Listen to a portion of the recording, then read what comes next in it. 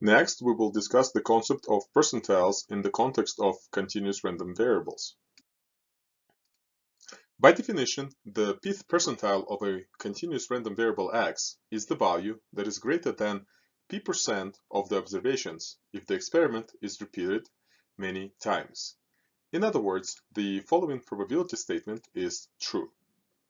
We can visualize the pth percentile of x by considering its probability density curve and finding the value, the area to the left of which is p percent of the total area.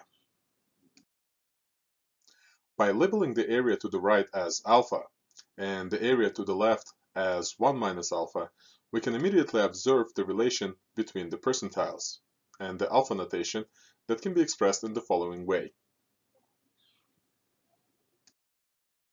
For example, we can express the 80th percentile of z as z sub 0.2, which we can find using the previously discussed method. Similarly, we can express the 55th percentile of a uniform random variable with parameters 1 and 5 as x sub 0.45, which we know how to find using the previously discussed method. Here are some other examples of finding the percentiles by rewriting them using the alpha notation.